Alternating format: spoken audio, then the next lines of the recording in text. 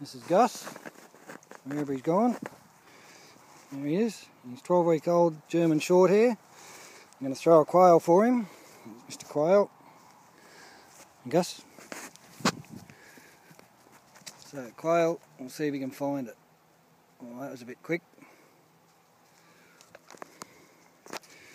Good boy. Back to hand. Give, give, give. Good boy. Oh, they dropped it.